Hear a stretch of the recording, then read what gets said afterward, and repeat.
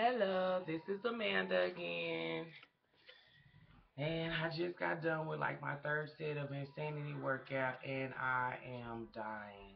But I feel good at the same time.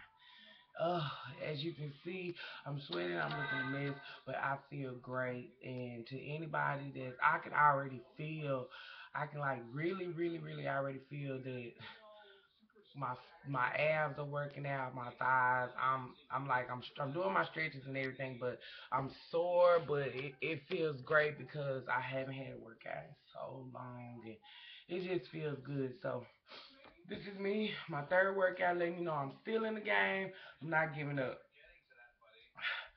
And uh, I just got done, so I'm still a little out of breath, and I'm still hot and everything. I just want to let everybody know that if you were thinking about trying Shaun T's Insanity workout, try it because it is for you. It is for me, it's for you, and it's it's hard as hell. I'm not gonna lie and say like, oh, it's easy. You can jump right in. It's hard when you first start. You probably gonna have to stop, take a break, but you work at your own speed, and it's just great.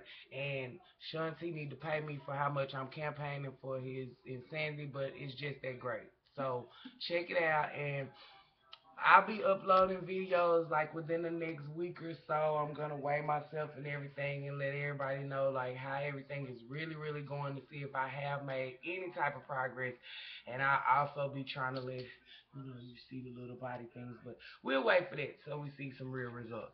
But until then, love you and um stay healthy.